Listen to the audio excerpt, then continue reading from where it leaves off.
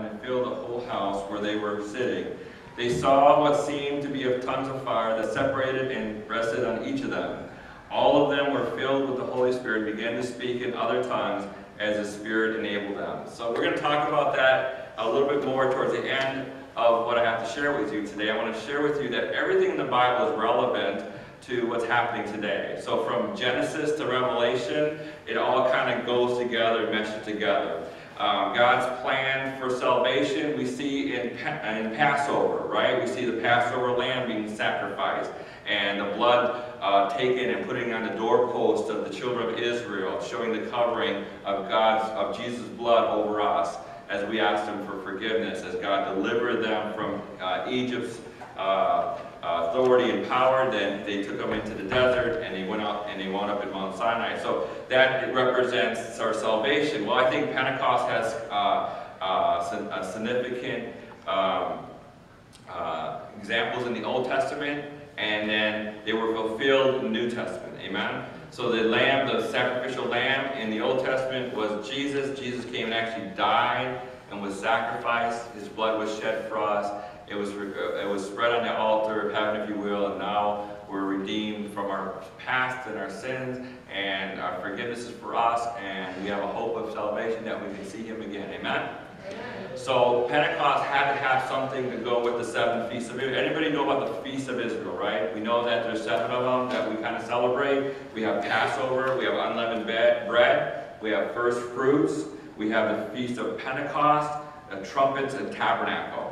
And we know right now that uh, Jesus fulfilled the first three, and we're looking for uh, Pentecost was also filled on, uh, when we read it in the book of Acts, and the Feast of Trumpets and the Feast of Tabernacles we're kind of looking forward to. If you do study at all, uh, the Feast of Trumpets would be the trumpet in Revelation, right? And the, the, the trumpet will blast in 1 Thessalonians as the dead in Christ will rise first, and those that are alive will rise with them. Amen? trouble. And then tabernacles is when God will dwell on the earth again. And the earth will be made new. So he can dwell with us. Amen. He always wanted that. Just like it will go back to the beginning, like the Garden of Eden, and we'll all walk with God and be with him. Amen. It's going to be a, a, a wonderful time. The earth will be new. We don't have to worry about uh, all the environmental stuff. Everything will be new and right the way God wanted it to be. All right? I don't know if there will be pollution or not. But anyway, uh, it's going to be right. It's going to be the way God intended it to be. Amen. Praise the Lord. So, but let's talk about the, the uh, feast. Uh, Sharat is the Jewish term for that. Pentecost. And during the feast of Pentecost, the Jewish people, what they do is they would study the Torah, and it would be part of the family tradition. They'd break out the, the Torah and they'd begin to read it. Children were encouraged to be in the room and study Scripture too, and they would give them gifts and candy and things to help them along studying the Word just like we do today in our children's program, right? And also, one of the things that they do, they would read is the Book of Ruth.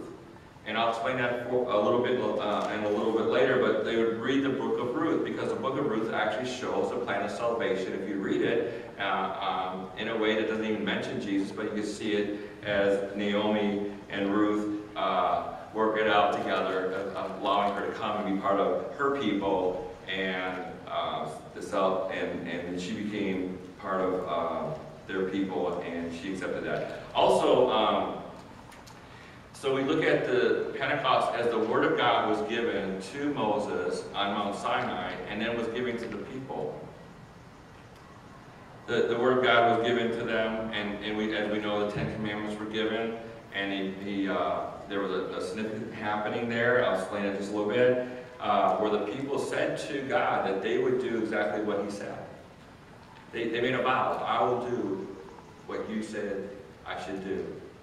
And we'll see how that matches up a little bit, how it matches up to marriage. They are married, they're his chosen people. Marriage throughout the whole Bible was, was given uh, as an example of God's love for us and our love for God. Uh, we're called the bride of Christ, are we not? And so in that, we'll see in just a moment how that all fits together, how God, uh, through um, uh, their acceptance of God being their God, and that his law or old covenant is now part of what they're going to obey, they said to God that basically what they said is, I do. I will do what you said I'll do.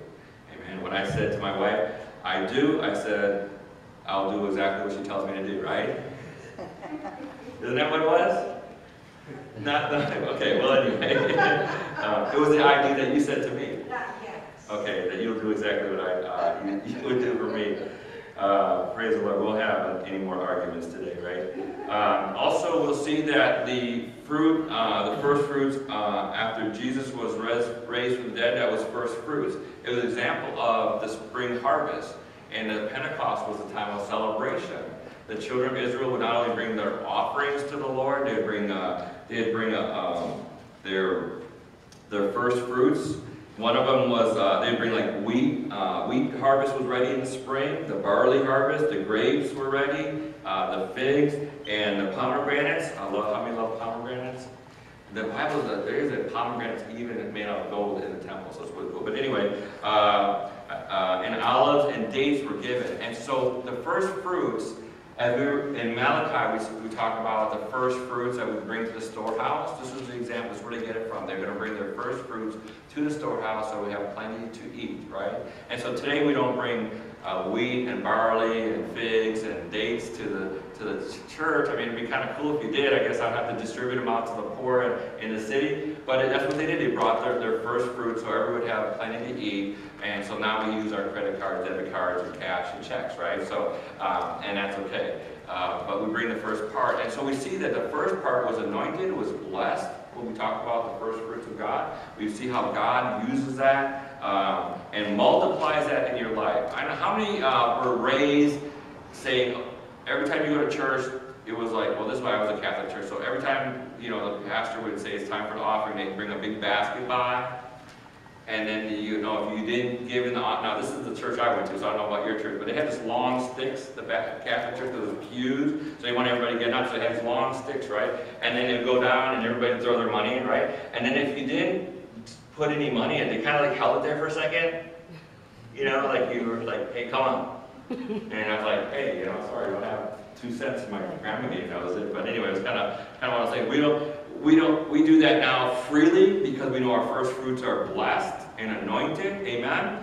I don't know about you, but Tina and I still practice where we get our we get our we get paid once a month. Where most times the first of the month, and so the first check we write, we still write checks. The only check we write is to the church. But anyway, the first check we write is, and before I even go online and pay my bills, right? I'll go, I'll be uh, getting ready to do that. Even I get ready to send, I say, Tina, did you write the check? Yeah, because she has a checkbook in her purse. And she'll say, uh, no, not yet. So she'll write the check before I hit the send button. What does that mean? Because I'm just honoring God in that little action that my first is His. Amen? Does anybody do that or is it just me? Some of us do that. Yeah, I'm just trying to encourage you because Pentecost was celebrating the, the first, the uh, spring feast, and they brought, that was part of celebration, because the Jewish people were required to go not only for Passover to, to Jerusalem to, to, worship God, but also on this time, um, Shabbat. Um, say again? Shavuot. Did I say it right? Okay, Shavuot. So they came, and they were required to be there, and they were required to bring their first fruits. And then they had a big celebration. That's why when you read later on in Acts chapter 2, there were a lot of people there hearing their own language, they're celebrating. Why were all those people in Jerusalem during that time? Because it was already 50 days after Passover, correct? So, um, the Jew, to read this. Jews around the world were there to affirm their commitment to the Word of God, to God.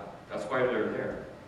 When the word of God was given at Mount Sinai to the children of Israel, and they agreed to say, I do, they, they were there in Jerusalem on this day to reconfirm to God that they were going to do what he says. So that's what Pentecost was about to them, plus the first fruits. So reconfirming to them, to God, that he, they would serve him with all their heart and all their, all their soul. They were, they were acknowledging the old covenant, the law. They're saying, yes, I'm going to obey the law. Now, you know the Jewish people had tons of fence laws that they added to it. But for the most part, you put God first. Remember Jesus said it? Put God first. Serve Him with all your heart, soul, mind, body, and strength. You know, you have to love Him. And then he says this other part that Jesus said that we all work on every day, right, is to love others as yourself. I mean, you know what I'm saying? I'm going to commit myself again this year that I'm going to love God and I'm going to love people uh, the Pentecost, right? Now, it, it were, they were confirming of, um, they're going to obey the, co the covenant. But this was a, th- this new Pentecost was not only, um, they were looking at the, the law of obeying the law, but Pentecost now is not so much looking at doing the law, but that there was a spiritual change within us and we say yes to God. Because he said, write these words on the tablet of your heart. It's a spiritual transformation that happened to us when we say yes to Jesus, right? We're born not of flesh, but we're born of the Spirit. We're not under the old covenant anymore. We're not obeying all the laws because it's almost impossible, as you know, to try to do that. That's why they made other laws to try to help you obey the laws, and now we got laws after laws after laws. It's impossible to do. But God said, no, no, under the new covenant, under the new blood, under the new thing, we're just going to obey God because we love Him. And we're going to do right because the Spirit of God is given to us to do the right thing in our lives on a daily basis, right?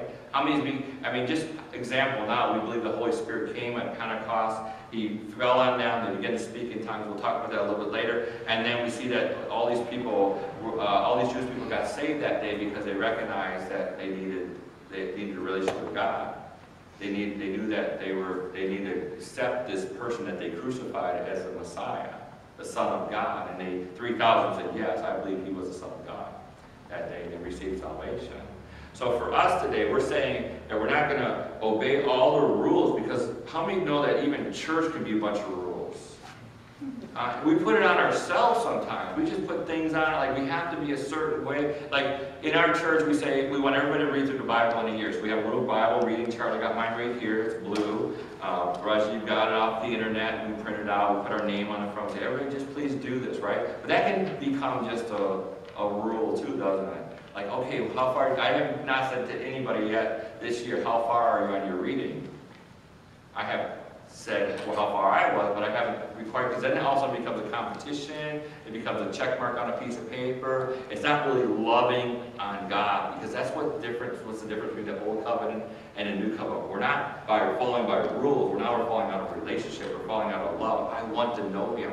I want to understand him. I want to, is one of my favorite uh, uh, songs, I want to hear his, I want to hear his breath. When I go in prayer time, I don't just go because out of obligation. I mean, I really want to meet with Father God and I want to feel His presence. I want my body to go all crazy and tingly because that's what happens sometimes. I love that. I, you know, I just love walking in that. And when the Holy Spirit's talking to me, I want to, I hear Him. I want to be able. To, I want you to do that. I want to just fall in love with God. And then if I fall in love with God, then I then I'll automatically love other people. Amen. It's kind of it's kind of like God will dump His love into me or pour into me His love and His presence, grace, and I will be able to pour that out to people now. And I can look at people differently instead of uh, like most of us do, judge people. And I'll say that for you. But we just automatically judge people, and it's not what God intended us to do. We're not to judge people. We're supposed to love them. Number one reason why people don't go to church because they feel judged. Unbelievers, when they were surveyed, they just said, hey, the reason I don't go to church is because I, I automatically feel judged. So the, the four or five people I talked to this week, I said in our church, we have a guilt-free zone. I, I say that a lot because it's just something different. But I say it because people feel guilty when they walk into church, especially if they haven't been in church, right? Or they want to go to church, but they don't come because it's unfriendly. Can you imagine that? God's people unfriendly. The reason a church is unfriendly is because we don't have a relationship with Father God. Because Father loves everybody right? He loves everybody. And I don't care what sin that they're in or what lifestyle they're living. It doesn't, they're from, it doesn't matter because God loves them. Amen? So the new covenant, the new, the new covenant is about over. You have to do, Joe, you have to cut your hair a certain way, you have to wear a certain tie to church. My grand, my uh, uncles, they kicked out, remember in the 60s when the hippies kind of started coming to church, right? My uncle was a, a worked on the lake. He was a lake patrol guy in um, Muskego, Wisconsin. And he, he was bragging to me one day, I was on the boat with him, he was bragging how they kicked people out of church because they weren't dressed right. And that stuck with me. I wasn't even a believer then, you know, I just kind of went to the Catholic church thing. But even to this day, I think, how could he do that? Because some hippie with long hair, or maybe they had tie-dye shirt, I don't know what, blue jeans, maybe they wore sandals in church or whatever, but they would, allow, they would not allow them in church. I mean, I, to me, that hurt me Back then, I was just a little boy, maybe eight or nine years old when he said that, but I still remember that. How can that happen? Because we judge, automatically judge people. because we have a system that is not according to the Word of God. In the Old Testament, you had certain rules, you had to dress a certain way, you had to enter the temple a certain way, and when we go up to see the temple, I think it's good we should all learn that. The priest before they even went into the holy place, because if they did, the Bible says in Deuteronomy that they would surely die. I mean, so you had to make sure everything was right. Today, God's not looking at the outside, He's looking at the inside. That's what the new covenant is about. Amen? The new covenant is about that we now, God sees our heart in the way we really are inside. And see, on the outside, we can all look nice and pretty and, and oh, praise the Lord, and, you know, all that kind of stuff. So I used to be funny. I used to think when I was in the first time I went to Pentecostal church, and the pastor and the deacons would be up front, they'd be praying for people, and they'd fall down on the floor. You ever, ever been in a service like that? And uh, in California, we had that. We people fall down, and people would walk up to me in California, and they would just fall down, and before they even got to me, I'm like, because I was like, God, I don't want to, I don't want to touch them. I just want you to do whatever you're going to do in their lives, right? And they'd fall down, and they thought that was really cool. So people line up to stand in front of me so they could fall down. And I think that's fine. God, do whatever, do what you're doing in, in their lives. But the problem with that was when they got up, they were like the same person. And I'm thinking, if you're really in the presence of God, if God really knocked you down on the floor, which I, I don't have any problem with that, then you're going to get up a different person, right? You're not going to sin, and you're not going to cuss, and you're not going to act and treat your family, right? You're going to be different. There's something to be different when the Spirit of God touches you, because when you accepted Jesus as your Lord and Savior, the Spirit of God was deposited in you, right? you cannot, you can't, you can't come to Jesus unless the Spirit of God draws you, and He's in you. He's a deposit. He's a deposit to you.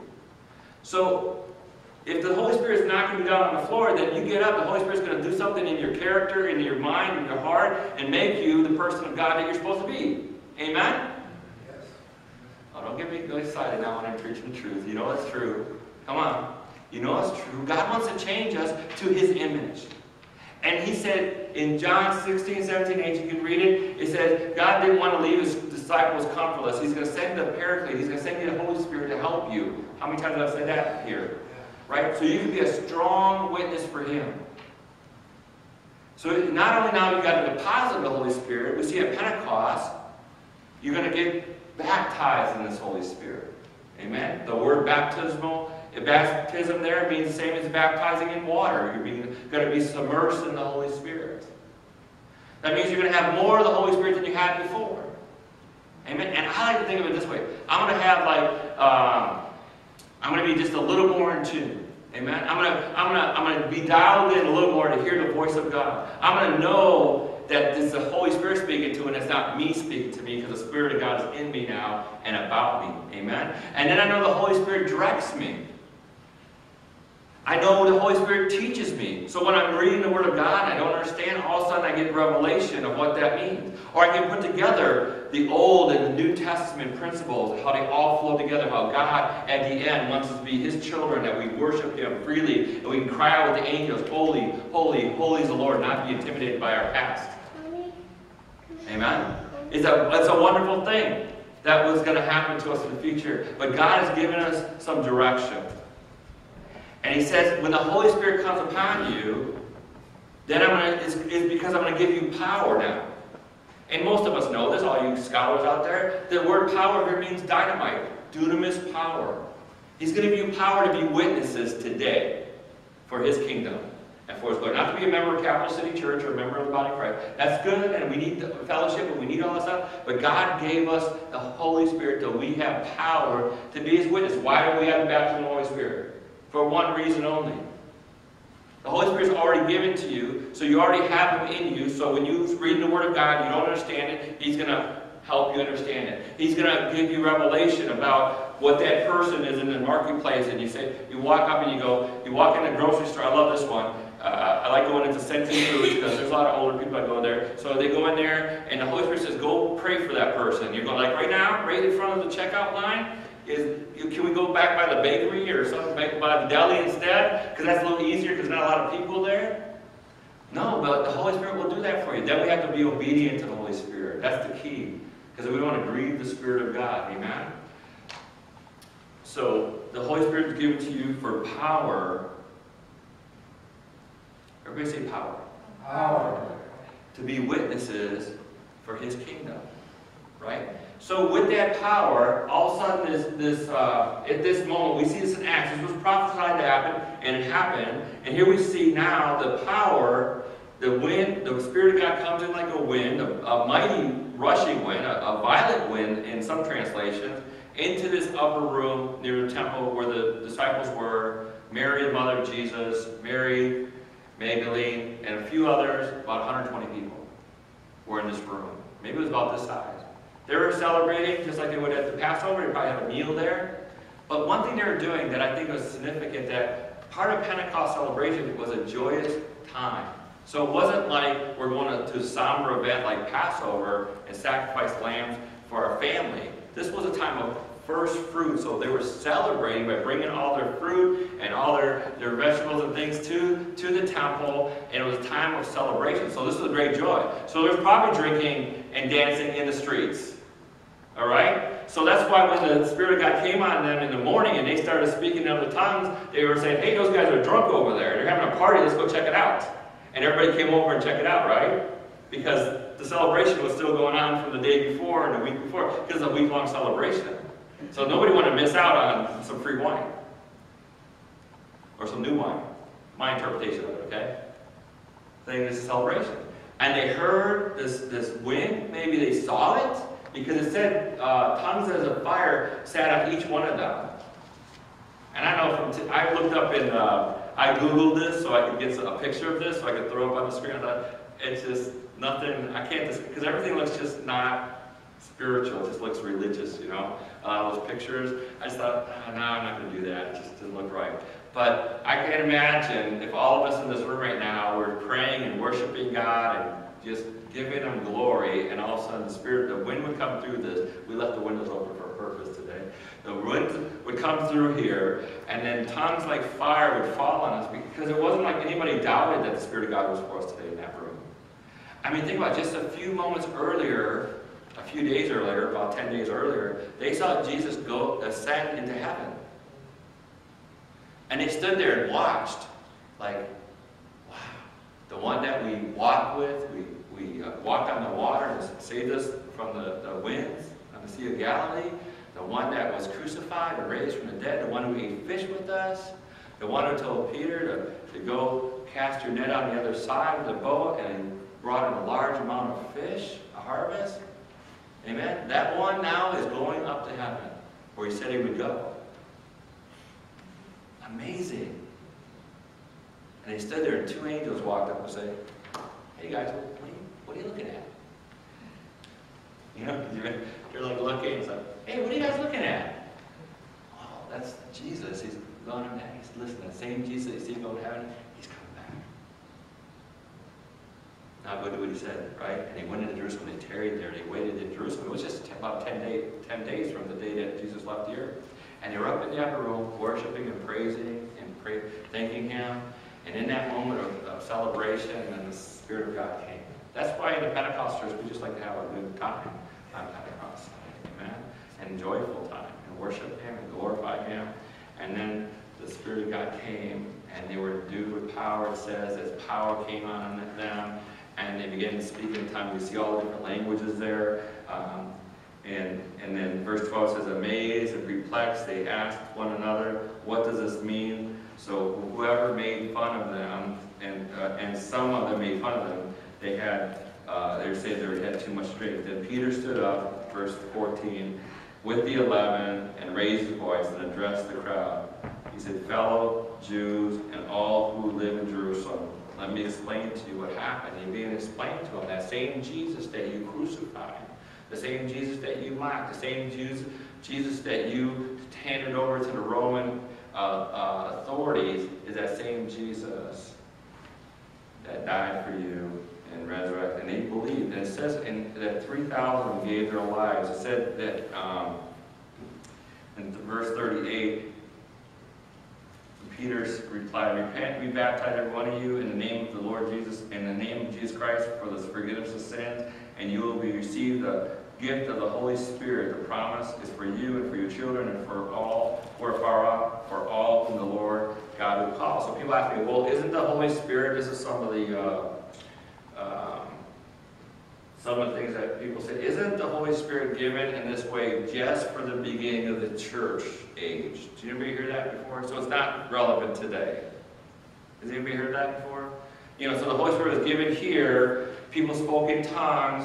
Uh, they, they, they get gifts. In 1 Corinthians, Paul speaks about the gifts in 1 Corinthians chapter 12. These gifts were given, as I, I taught on last week, for the, for the edifying of the church and for edifying of yourself. Those were given, but those ended because now we're in, let's just get the church age started. You ever hear that before? That's not true. Because we see even now later on in Acts at Cornelius' house, the Spirit of God was uh, poured out and they received it just like we did in the beginning and they began to speak in tongues. Then they were baptized. Then we see another place in Acts where they were baptized and then they spoke in tongues. It's like God can do it any order He wants to do it in, right? You can be baptized, and then you can speak in tongues, and you can receive the baptism of the Holy Spirit. You can receive the baptism of the Holy Spirit, and then be baptized. All you simply have to do, as far as the Word of God is concerned that I see, is you have to believe Jesus. Amen. He has to be your Lord and Savior. You have to believe every day, every moment. You have to believe that He is the Son of God. Amen. And that's the message that we share with people. This is the same Jesus that saved me is the same Jesus that can save you from your sin. Amen? One more thing I want to share with you. I have two loaves of bread here. Part of the celebration time is that the priest, the high priest, would take two loaves of bread. Now, most of you probably already know what this is for, right? But they do a wave offering during this time, during the celebration. So they take the loaves of bread, and they would it would be uh, bread with, made with yeast would be uh, would be unleavened bread, it would be leavened bread. Two loaves they'd have, and the priest would take it, and they would do a wave offering. So they go like this, right? And then they would say a prayer, and then they would go like this, right? And I, was, I had to do this one time when I was reading the words, because it's like, this is what they did, and this is um, how they did it. And so it's like the sign of the cross, right? It's like this, like this. That's kind of cool anyway. And then the one loaf of bread, it was two loaves of bread, so I had to research a little bit more and more, because it was just like, why, why two loaves? Why not just one loaf? Because we have communion, but why not? Why two? Because one loaf represented what? Anybody? This, this test. One loaf represented, not Tina, because she knows. One loaf represented one thing, and the other loaf represents something else. The bread is work represents what in the Bible? Word. The Word, Word of God. Yeah, the Word of God. So one loaf represents what?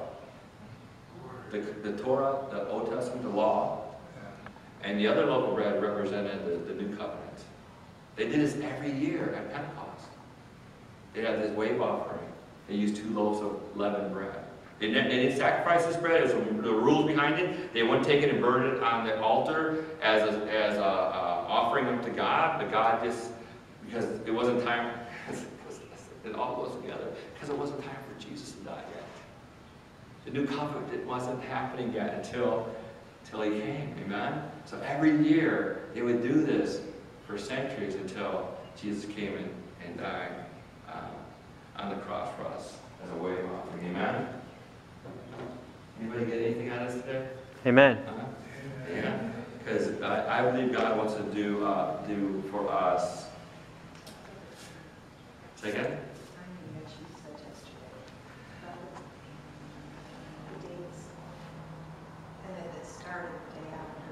Oh, yeah. Yeah, thank you. I, I mean, you know, when you do some research on this stuff, there's so much that goes together with the Word of God. So the day of Pentecost is 50 days, I mean, no, it's 50 days after Passover, right?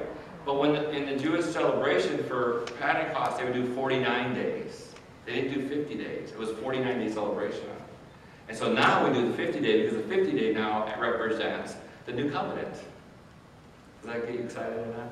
it represents God had always in his plan that we would now, when Jesus said, go into Jerusalem and tarry until you've been endued power, that was the 50th day from Pentecost. That's why we celebrate Pentecost on this Sunday. Um, actually, it was the second and third of, of June the, the real Pentecost, the Jewish calendar, of course. But we have to wait till Sunday because we celebrate church Sunday, right? Is that okay?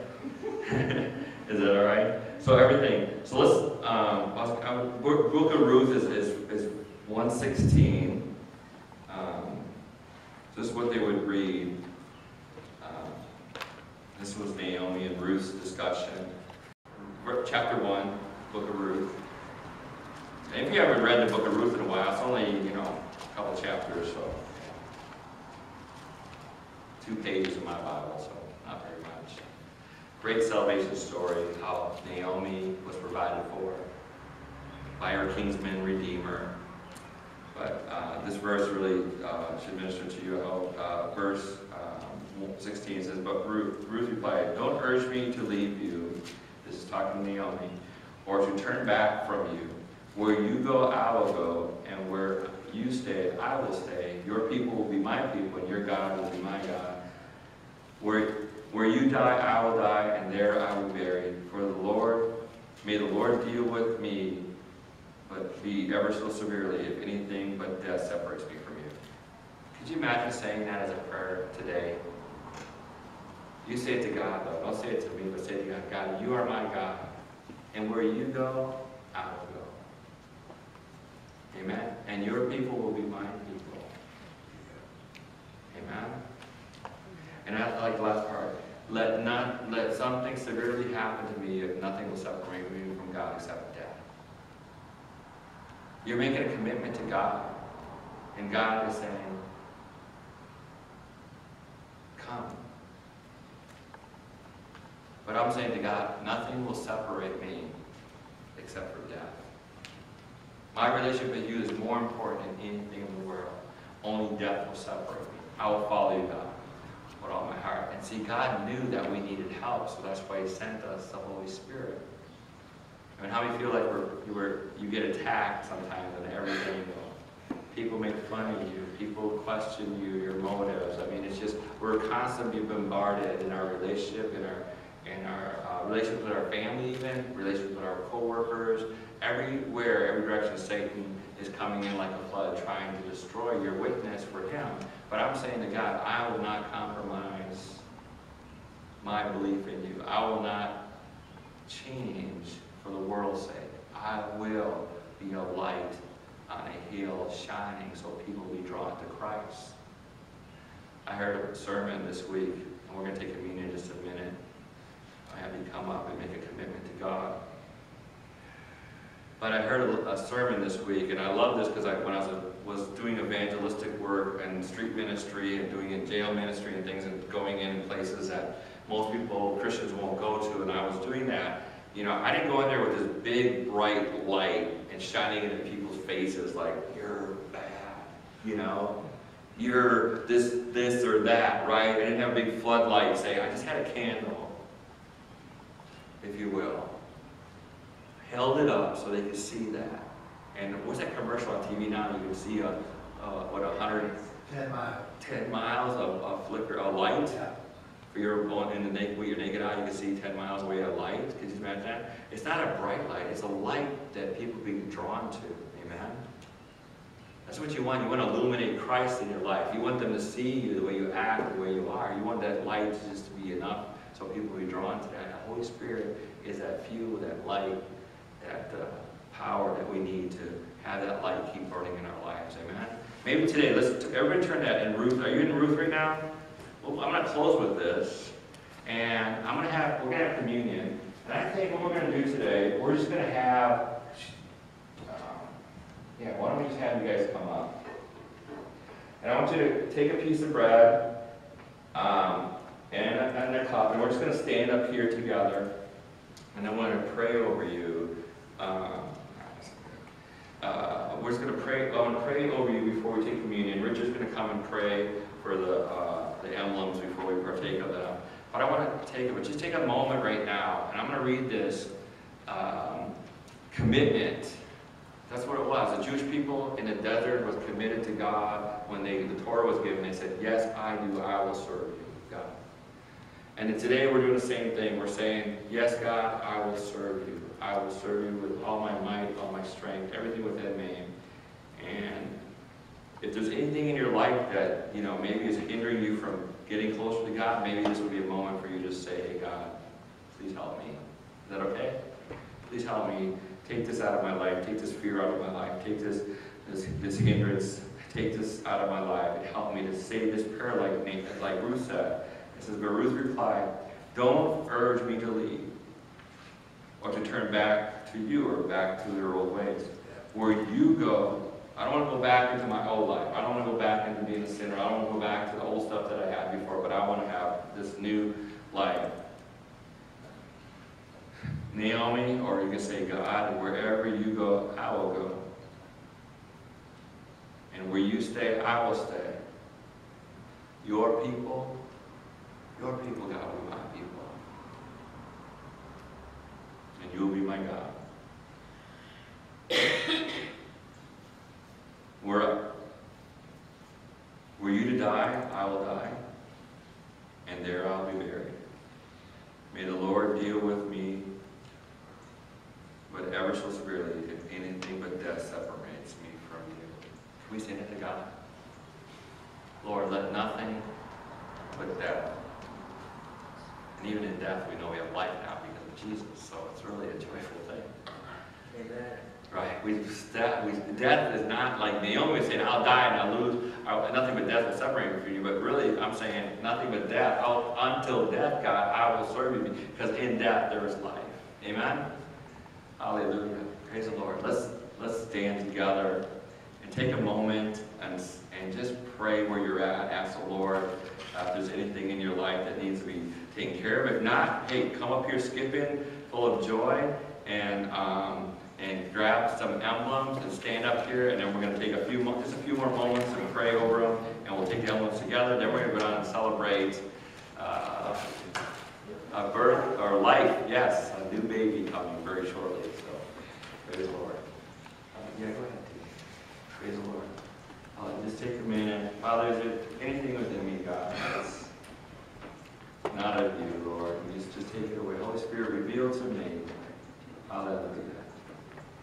Hallelujah. Thank you, Lord. Please just reveal to me, God, anything that was separated me from you, Lord. Thank you. Thank you, Father. Thank you, Lord. Hallelujah. And just come as you will to, to come get the emblems. Maybe Richard, you can serve.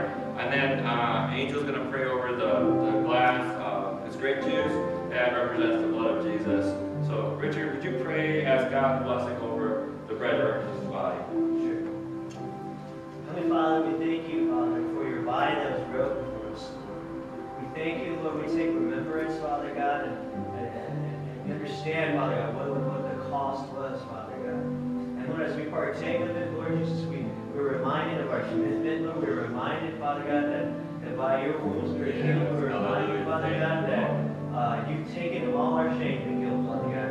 And you've made us new in your image, Father. So, Lord, we just thank you, Lord. And Lord, we thank you for your body that was broken for us. In Jesus' mighty name.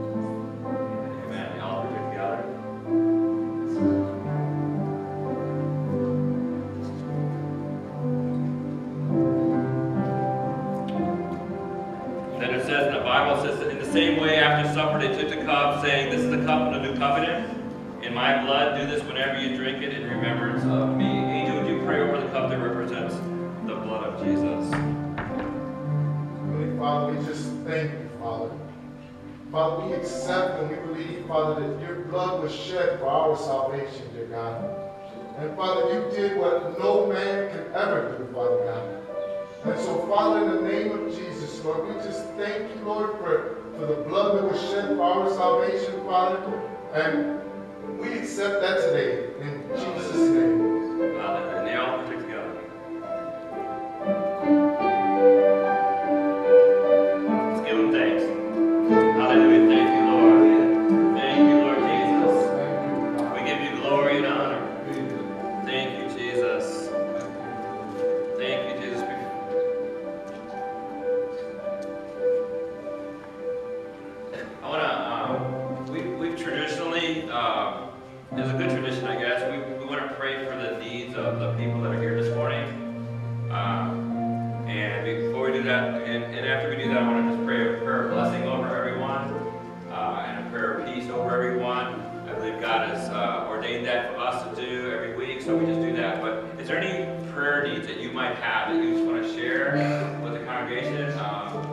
Share one. My sister uh, Paula, who was uh, had successfully uh, uh, been well seven years now since she had a brain uh, cancer, brain tumor, and uh, you know, they removed the brain tumor and everything's been fine.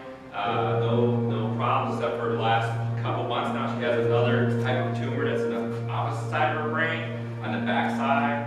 Um, doctors are a little confused why it happened there, but anyway, usually it would happen near the site where they, they had uh, removed the tumor before, but this is at a different area. So she's very um, uh, scared, you know, and fearful. Um, so she's coming to Madison this afternoon to be at my house for my birthday, so uh, I'm not supposed to know that, but um, I prayed with her over the phone the other day, and she goes, "Wow, you like you're like touching God." That was like really cool. She was like really excited and happy when we're done. So I really believe that she's seeking the Lord, and I pray for her total healing that. Is there anyone else that has a